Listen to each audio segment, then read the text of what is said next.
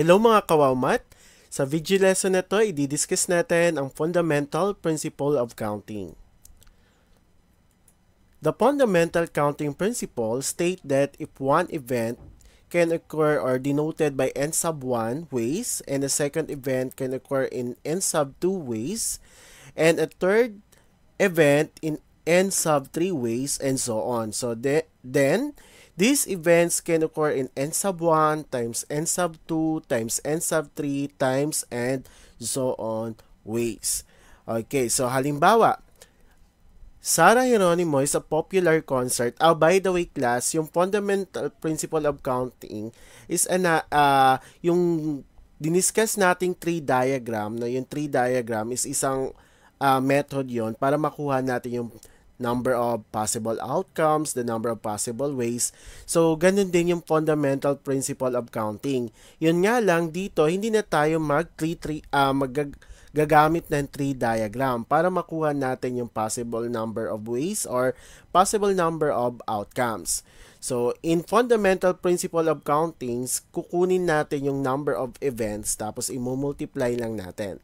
So, for example, number 1, Sarah Geronimo is a popular concert artist.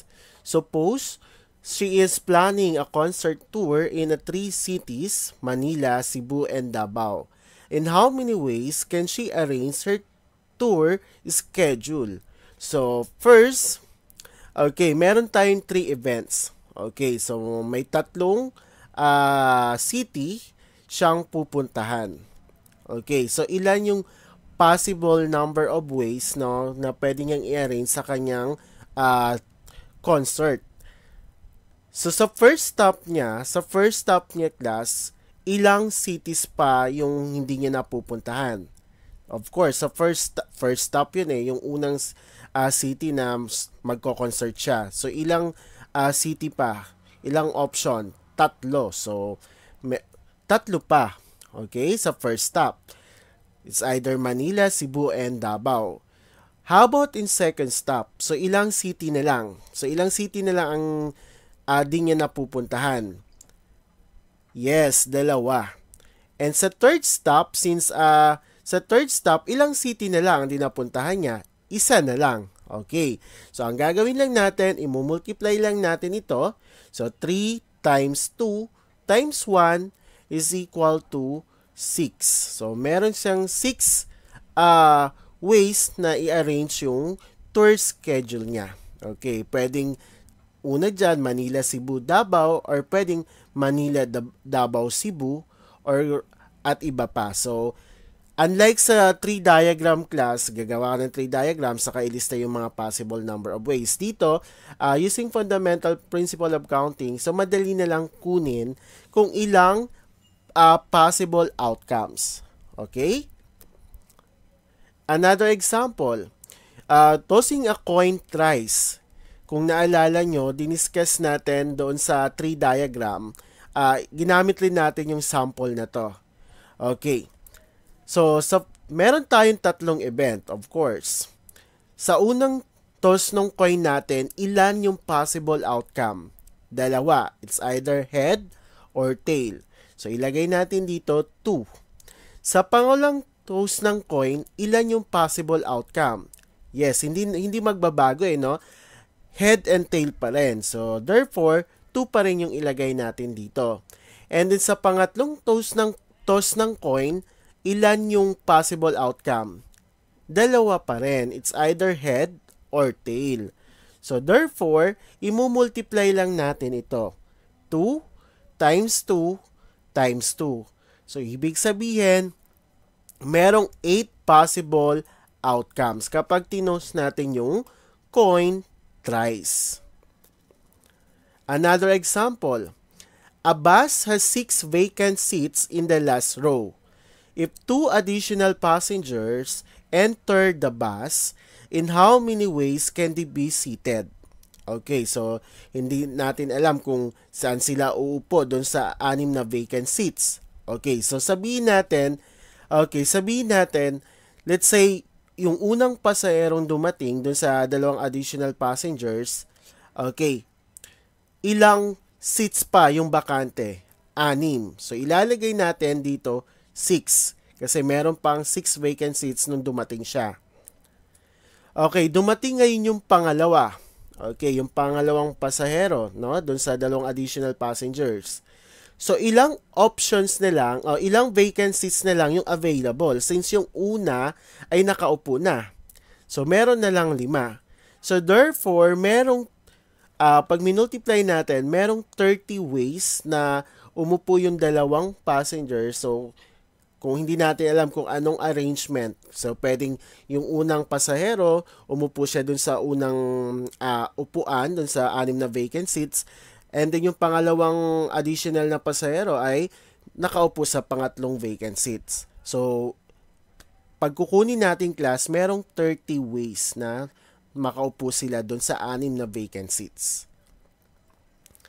Another example, A clown has four different colors of balloons. If two children will receive one balloon each from the clown, in how many ways can this be done? Okay. So, uh, merong dalawang bata. So, yung dalawang bata makaka-receive ng uh, tig-iisang uh, balloons.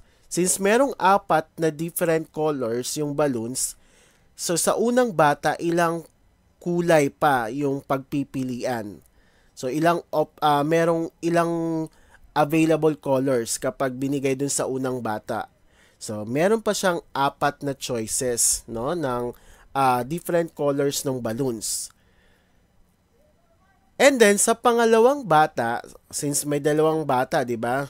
Uh, sa pangalawang bata, meron na lang tatlong choices ng uh, balloons. Uh, di, uh, meron na lang tatlong kulay na natitira kasi yung isang kulay ng balloons na ibigay na dun sa unang bata. So therefore, dito, tatlo na lang. So tatlo na lang ang ilagay natin. So ibig sabihin, ilang ways? 12 ways. Kasi 4 times 3 is equal to 12 ways. Another example. In how many ways can the first, second, and third prizes be awarded in a math contest with 15 contestants. Okay. Let's say i-award ngayon yung first prize. Ilan, ilan yung contestants na pwede mak uh, ilan yung uh, contestant na pwedeng makuha yung first prize. Since merong 15 contestants, so 15. Tama? Okay. So kung ila kukunin na natin yung second prize, yung nakakuha ng second prize, so ilang contestant na lang ang natitira? Kasi yung isa binigay na natin eh, no? So nilagay na natin sa first prize. So ilan na lang? Meron na lang 14. And then, sa pang third prize, meron na lang 13. So kung kukunin natin, okay, kung kukunin natin yung number of ways, i-multiply lang natin ito, 15 times 14 times 13. And that is 2,730 ways. Okay, more example. Lucky Chinatown Mall is offering a date night special. Pick one movie from four choices, one restaurant from six choices, and either flowers, chocolate, or wine. So, how many possible date night options are there? So, this example is from my ninang, no? Kasi grade 10 yung ninang namin at nanay-nanayan namin. So, kinuha ko yung sample na to sa DLL niya. So, shout out sa ninang namin. Okay? So, dito class, meron siyang tatlong events, no? Meron tayong tatlong events. Sa unang event, meron siyang apat na choices nung movie. Okay, may four choices sa movie. So, ilagay natin 4. And then, merong anim na choices ng restaurant. So, 6. And then, it, uh, either flowers, chocolates, or wine. So, merong tatlo. So, therefore, kapag kukunin natin yung possible date night na merong uh, mer meron, so i-multiply lang natin to. So, 4 times 6 times 3 it equals to 72 ways. So, ibig sabihin, merong 72 options na um, merong 72 options na magkaroon ng uh, din yung possible number ng date night. Okay? So, 72 ways.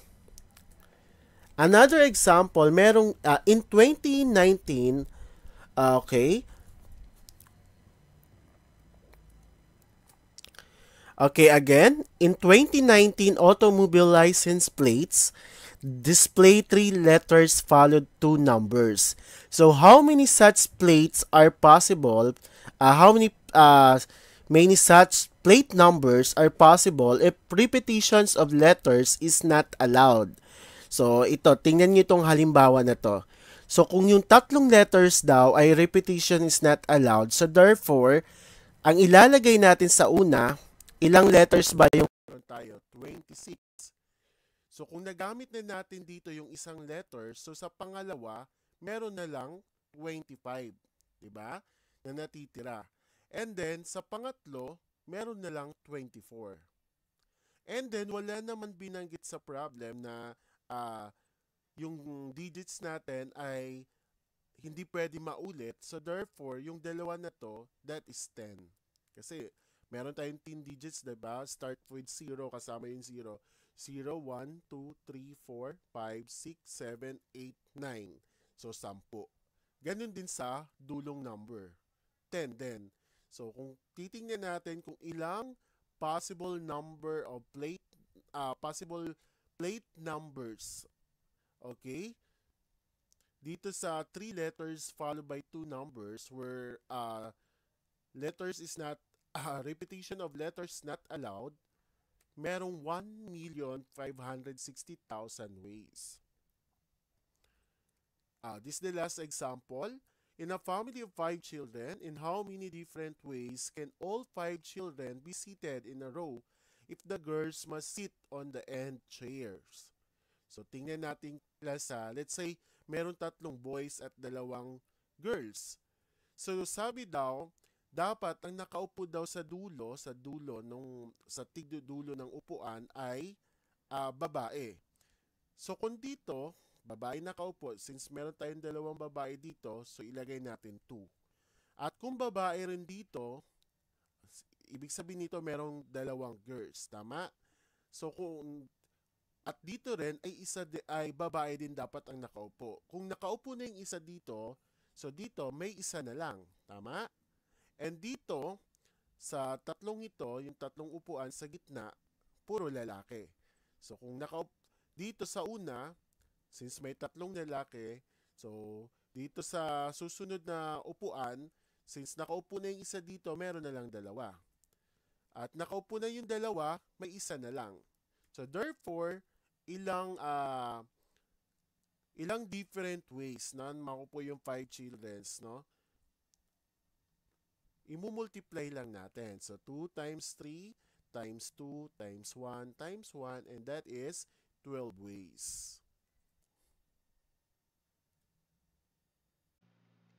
Thank you for watching this video. I hope you learned something. Don't forget to like, subscribe, and hit the bell button para updated kayo for more video tutorial. This is your guide in learning your math lesson, your Wow Math channel.